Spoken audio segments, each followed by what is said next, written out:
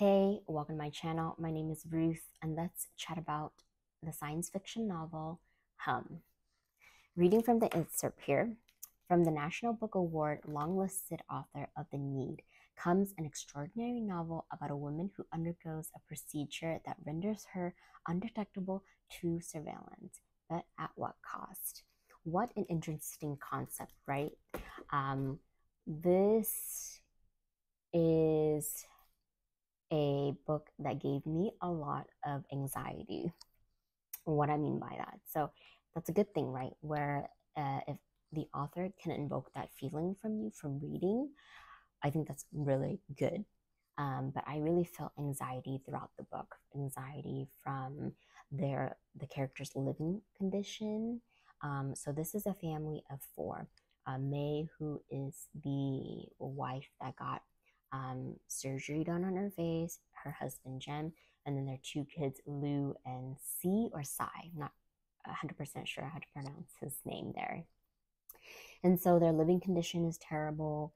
Um, they always have to worry about air quality. The water in their um, area isn't good. I mean, I feel like that's also happening now where some area in our world today, people are living in these type of conditions, but it's just kind of like this book really exacerbates it because you're like way in the future, or I feel like you're way in the future in this book. And so, um, and everything is just to the max level with this book. The weather, right? The air condition, um, air quality, um, the dynamics between the family is also intense. I mean, you have uh, the mom's relationship with the kids, it feels kind of like strange. And then you also have the relationship with Jem and May, they also feel strained. And then, of course, the family is obsessed with like screen time and being on their phone all the time. And May trying to like disconnect, but she can't because that's just the world they live in. Um, and then, um, yeah, just everything about this world really gave me anxiety and also the high surveillance because there are these um, AI robots that are called Hum um, that are just around this world. I mean, they do everything, right? They uh, uh, they know everything about you because like every time you address a hum, they like say your name, so they kind of know a little bit about you, and it's really freaking creepy. Um, that that's even a thing. Um, I mean, there's some cute aspects of the hum. Uh, I wouldn't say it's like my favorite character, but I do appreciate the hum's like ability to try to be like connecting with the people in this world. I mean, they're programmed to do that, but it's still funny to kind of read about. So, like the hum. So, for example, there's like a scene in this book where the kids would ask the hum like what their favorite color is. And so the hum would straight out say to the kids, I really don't have a favorite color. I just say a color just to kind of like gain rapport or gain trust from you. But um, and then they would spit out facts saying like, but um, X per, uh, X oh my gosh, X percent of people, you know, say like red, green, or blue are their favorite colors. And so little things like that. And oh, and the constant like advertising these hums do and you have to like pay to stop them from advertising. I'm just like dude what a like waste of money. You are always like bombarded with all these ads and it's just like a really stressful environment to live in. So um it is clear and unclear why the mom did what she had to do. So she had to get surgery done. So my thinking was okay like is she going to be doing something nefarious?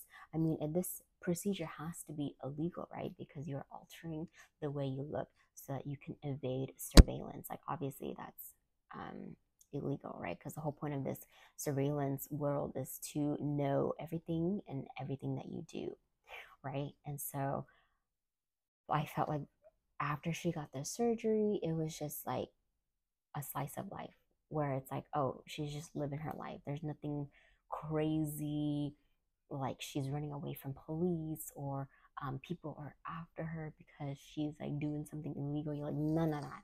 It's just like her life moves on because she got this surgery. And um, she also um, uses the money that she receives from the surgery to like try to better her family, but it still kind of fails because then she um, inadvertently like spends.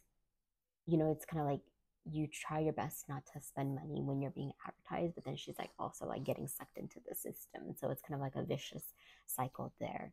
And so she like tries to take her family to like nature, but like this nature isn't even nature. It's like um like man-made nature too, right?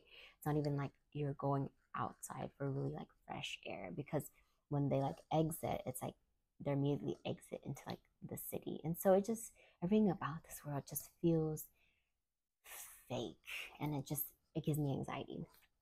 But um yeah, so the whole point of the story um, I wasn't 100% sure, especially like the ending. Maybe it was more like, okay, to see how much a parent was sacrificed for their family. Sure, you know, I can see that. But at the same time, it's like, was it necessary then for her to like get facial surgery when in the end it's just going to put them back to where they are? So it was like, what was the point of doing that? You know what I mean? And so um, there was a lot of missing things from this book. I felt like I wish the author touched more on. Um, and so, overall, my feelings about this book, I'm gonna give it a two stars. So again, no, not a lot of action that you expect from like a science fiction novel or anything that was like very dramatic that would come out of this. Especially again, you're getting your face altered. You know, like what big thing is happening. So um, there's some missing stuff in this book for me. Well, like always, we'd love to hear from you. Did you like this book? Didn't you like this book? Who is your favorite character? Please comment, rate, share, and subscribe. Happy reading.